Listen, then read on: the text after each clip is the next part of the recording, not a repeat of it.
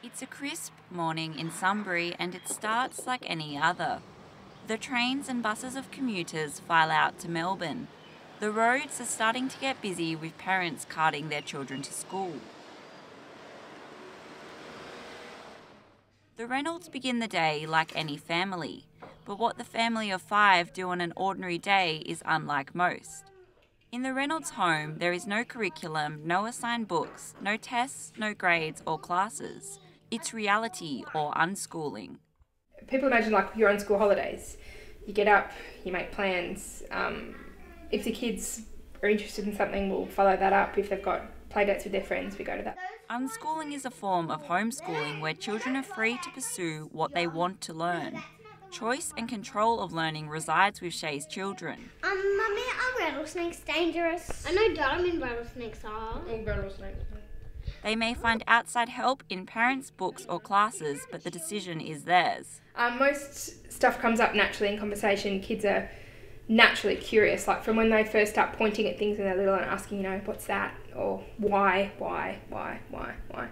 Um, we just follow on from that, really. So without saying, you know, you're this old and it's this day of the week, so we must do X amount of hours, it just kind of filters into our daily life. Learning happens as a side effect of living life. To unschoolers, children are programmed to want to learn.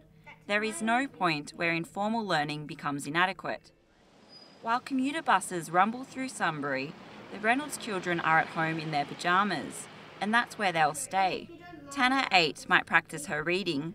Willow, 5, has her eyes set on the Reynolds art supplies. Four year old Harper will likely play. Regardless, the children will choose what activities to pursue or avoid. John Holt, a teacher and author, coined the term unschooling in the 1970s. To Holt, unschooling was allowing children as much freedom to learn in the world as parents can comfortably bear. Learners make learning. But ask unschoolers what unschooling is, and you'll get answers ranging from not school to child led learning to total freedom. As with any movement, some are more radical than others.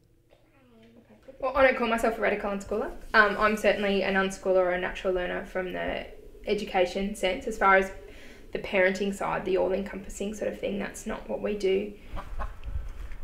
Shay says unschooling may be about finding your yes, but that doesn't mean never saying no.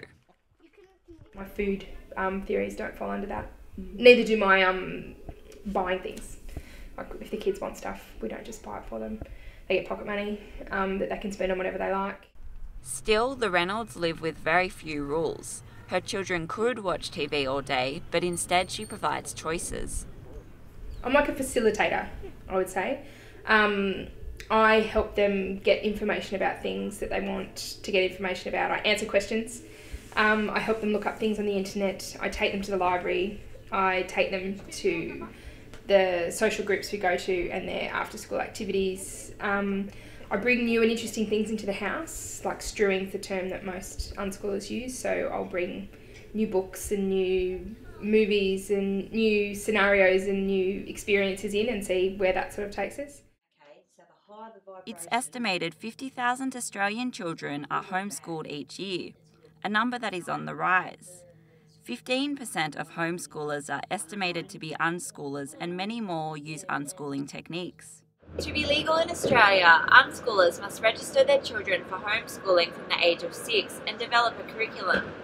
Unschoolers classed as homeschoolers must prove to Department of Education officials that they can meet standards of education. But what does the evidence say? How does unschooling measure up? Currently, I'm working with Dr. Peter Gray on a study on unschooled young adults. And um, we've done a study previously that was published in the Journal of Unschooling and Alternative Learning on unschoolers. Um, as, a, as a huge group, we got 255 responses and 232 for the study. Professor Gina Riley is one of the few academics to have studied unschoolers. She's also researched intrinsic motivation. My studies in intrinsic motivation have um, brought me to the fact that learning should be, you know, you should learn about what you love you should learn about what you're passionate about, what you're curious about, and it should be the core. And that's where her research shows the success in unschooling lies. Our young adults who have been unschooled have taken their interests and their play and and a lot of them have made it into their work. Evidence that unschooling works or doesn't is mostly anecdotal, but play based learning has been researched. Somebody once asked me, but what if your kids want to build sandcastles and play video games all day? I said, well, you assume they're not learning anything from doing that. Like, there's engineering and science and physics and mathematics in all of those things. Dr. Alan Thomas has been researching how children learn for 20 years. And they do this through, through observation. You know, they've got eyes and ears, they pick up language, they, uh, they observe what they see, they do it through, uh, through play. Play provides tremendous opportunities at an age between 7 and 11, for example, when it would be quite scorned in school and only seen as a recreation. Uh, and they learn by following their own interests. They, don't, they learn in real life. Research shows play stimulates problem solving, creativity, and imagination. It also helps social skills, including a child's ability to compromise and cooperate. And so, unschoolers place equal value on park days and academic learning. Shay says the iPad is one item of play that really works for her family. Things that they're interested in really do stick. Like we just had that conversation in the kitchen before when I opened the dishwasher and she saw all the steam come out. My five year old saw all the steam come out. And she was like, oh, it's hot. And I said, oh, I remember that, like, we're watching this song on YouTube they really love about the water cycle. And she was like, oh, it's vapor. Because they, you know, they like the song and they're interested in rain and all that sort of stuff.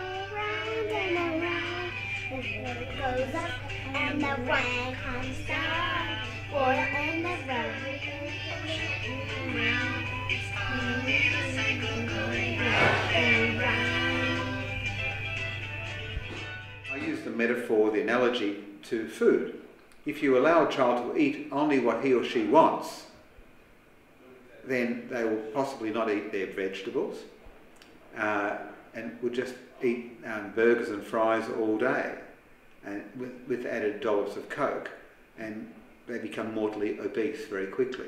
So it's unhealthy, it's an unhealthy diet. So unschooling, I believe, is an unhealthy educational diet. Dr. David Zyngier is trained in pedagogy, the science of learning and child development. Mm-hmm. Keep them simple. Yes. Allowing children to follow their own interests is, is very good pedagogy, but we need to make sure that we are also facilitating their introduction to other curricula. Reading is one area that worries Dr. Zyngier. You need to be a well skilled, well trained professional to be able to do that properly. Children can't do it on their own. Nanny, Nick. Nick. For the eldest of the Reynolds girls, Tanner, reading has certainly come later than what's considered normal. Like I was just saying to my husband recently about, wow, so now we've got an eight year old that can't read on her own yet. You know, that was okay when she was six. But Shay says she sees and trusts that her daughter's reading is coming.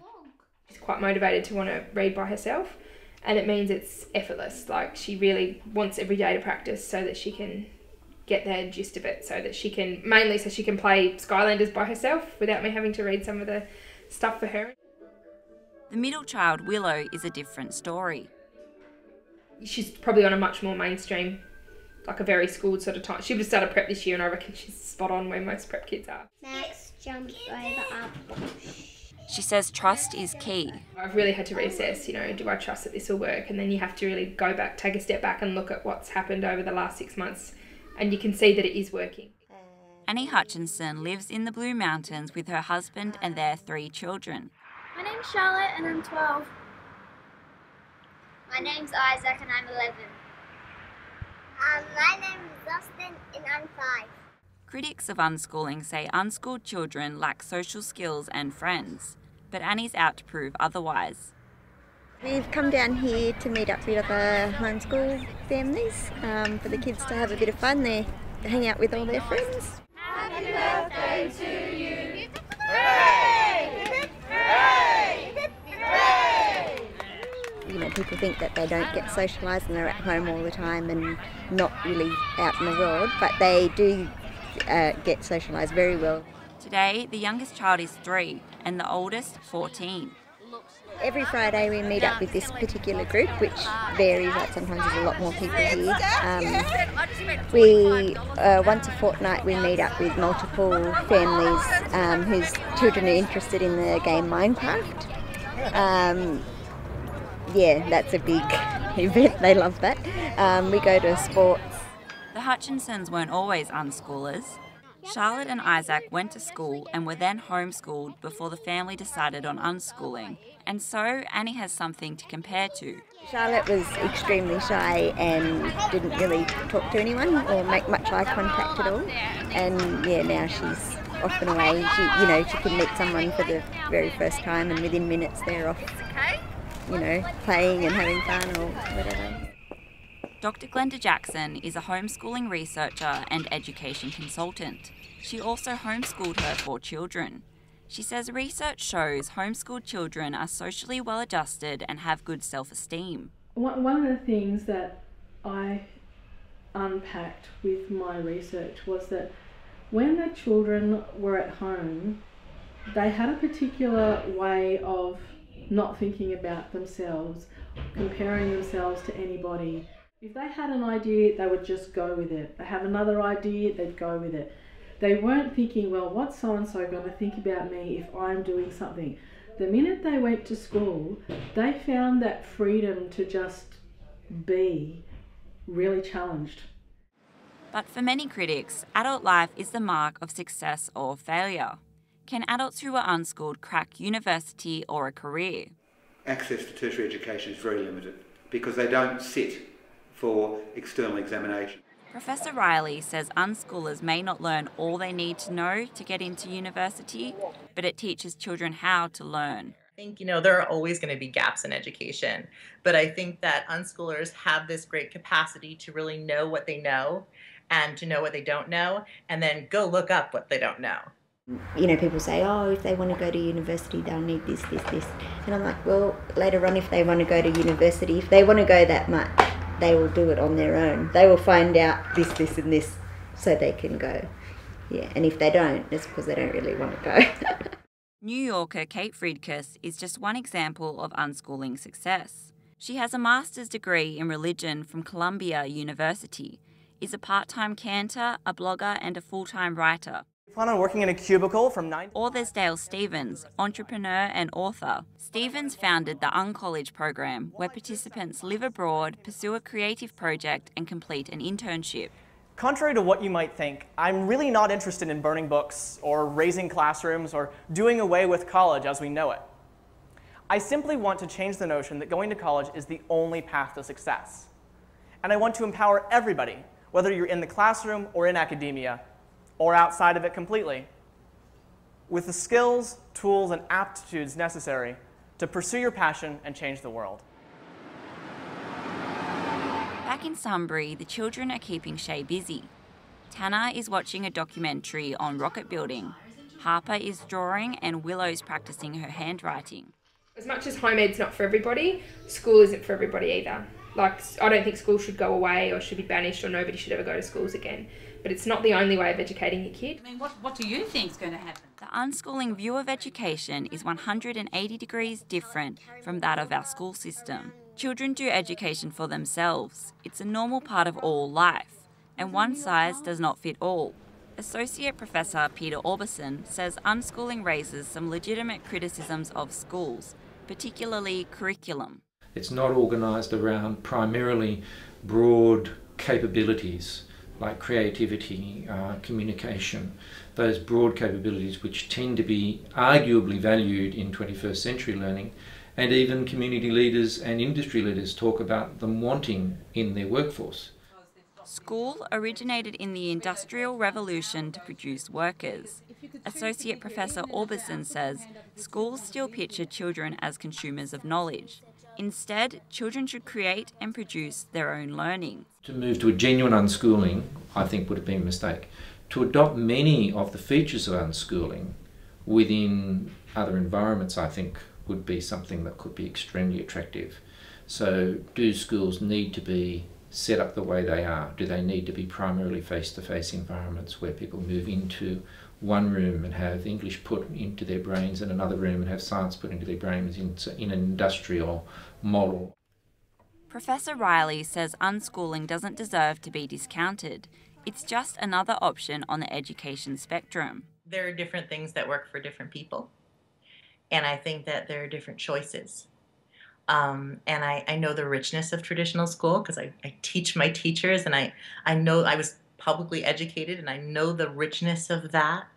Um, and from doing so much research on unschooling, I also know the richness of an unschooling environment.